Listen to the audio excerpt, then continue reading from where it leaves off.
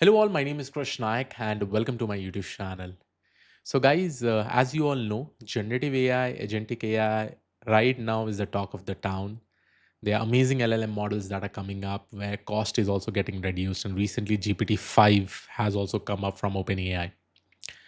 Today in this particular video, I want to definitely talk about one amazing report that is 2025 AI engineering report and this report will actually help you to understand where you should really focus on this particular field because this field is quite vast in short. And many people whose aim is specifically to work in this particular field by getting a job, they want to make a successful career transition. So definitely this report is must for everyone.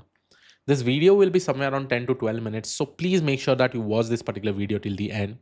It'll give you an idea like what things you should really focus on in perspective of AI, uh, how you can really create a meaningful impact in companies, how you can get the most benefit out of the specific report itself. This report, if I talk about, is being surveyed by many, many people who are working currently in this particular field itself. So quickly, let me share my screen over here. So this is the 2025 AI engineering report, and this has just come in the month of June but this report is having so much of information that you should definitely have a look onto this okay? And the main reason for making this particular report is that because my audience are focusing on learning multiple things specifically where they should really focus on in generative ai or agentic ai what should what is the kind of work that companies are actually doing that also you should definitely know so if you see over here, why this report is important because they have surveyed hundreds of engineering building in AI about everything from which models they are using to whether they're using a dedicated vector database and all right. So if you see, there's some very core important points out of it that for customer facing application, three out of top five and half of the top 10 most popular models are from OpenAI. This I can definitely say because uh, I've spoken to many, many people who are in industries, companies, and all. Um, when they are specifically developing RAG application, OpenAI is definitely the most popular models that have been used. Apart from that, Claude from Anthropic is also being used extensively. 70 percentage of the respondents are using RAG in some form. Now, this is a very important statement because I've already told I've done multiple LinkedIn posts and I'm focused on saying that two kind of applications are being built more and more. One is definitely RAG. The first priority work is RAG. Everybody is trying to automate their specific workflows, uh, automate task by generating this entire agentic AI application, integrating RAG in between them, right? So there are so many different types of RAG applications, from traditional RAGs to agentic RAG to most different varieties of agentic RAG, like autonomous RAG, you have self RAG, you have adaptive RAG. So many different kind of RAGs are definitely there. So for people who have still not explored RAG, definitely go ahead and explore. Right now, I've seen in interviews, many of my students have attended interviews recently the kind of projects has been asked in every interview is related to rag okay? How you can actually build a rag application. What all things you should basically use in order to build a rag application. What should be the entire life cycle from data ingestion to data parsing till deployment how you should really go ahead with this. More than 50 percentage of the folks are updating the model at least monthly. So over here when we say are updating the models i think they are also performing fine tuning okay Audio is poised for major adoption wave with 30%, 37% of respondents planning to use it soon. So audio will also be integrated in all this kind of workflows that we are specifically using. The majority of agents in production have write access typically with human in the loop. So you should also learn this particular concept that is called as human in the loop itself. Okay. With respect to the demographics who have been surveyed, you can see software engineers, AI engineers, founders, management, VP, CEO, CTO, MLO, MLOps engineer, researchers, product managers, others, and data scientists. Okay. And here you can see percentage of res respondent by years of experience, like 0 to 3 to 10 plus years of experience. In AI ML, you can see people who are having good amount of experience or who are building software engineering because now AI is also getting integrated with software engineers work, right?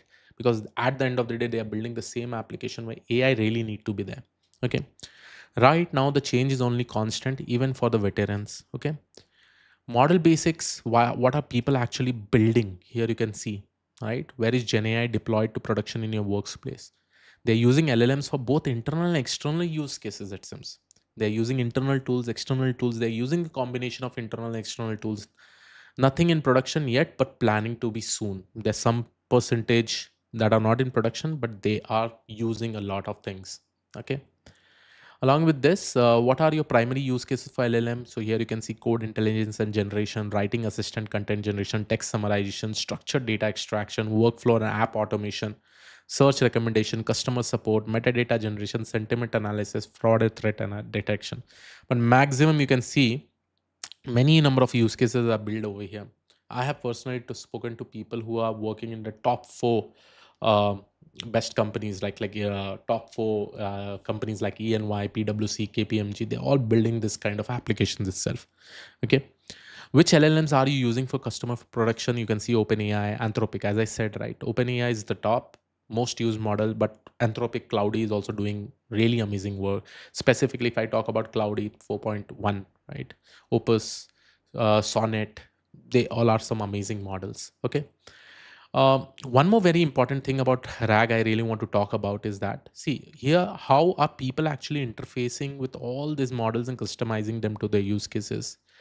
Um, basically, uh, typical few shot learning plus prompting, the overall answer is RAG. 70% of the respondents say that they are using RAG in one way or the another. So you can just understand how important this RAG use cases is. And with respect to use cases, you can see the top three, few shot learning, RAG and fine tuning fine tuning they're specifically using LoRa, QLoRA methods. So here you can see that methods are also there along with parameter efficient methods. And this is basically done to create chatbots or applications that are specific to a company. That is why you actually use fine tuning. Okay. And how often you update your model 74% of folks are updating their prompts at least monthly, and one in 10 are doing it so daily. Just imagine this. Okay. How often do you update your prompt so th- these are some very basic and important information. And out of this you can also see this very important thing which is like top app building frameworks. So definitely if you see in my udemy courses and all i have definitely focused on langchain langgraph. So that is basically in the top. Other than that i've explored llama index guardrails i've explored dspy and all. These all are very good. And probably soon i will also be uploading videos related to it in my youtube channel Nowadays, I'm focusing in my YouTube channel only to develop crash course, which will be a longer video form so that your learning process also becomes very much easy. Okay. Other modalities include audio, image, and video. So I think this will probably take time with respect to multimodal itself, right? So this is just one type of information that I really wanted to give because this will actually help you to understand how things are going ahead. They have also focused on monitoring and observability. In langchain you definitely have monitoring approach. Guardrails is there uh, if you're probably seeing this right? So just go ahead and have a look onto this. But my main aim to specifically talk about over here is that everybody from managers to senior managers to professionals to developers now i think it's time that you should start integrating or think like how you can use generative ai and agentic ai in your day-to-day work because the capabilities of all this kind of applications are huge okay?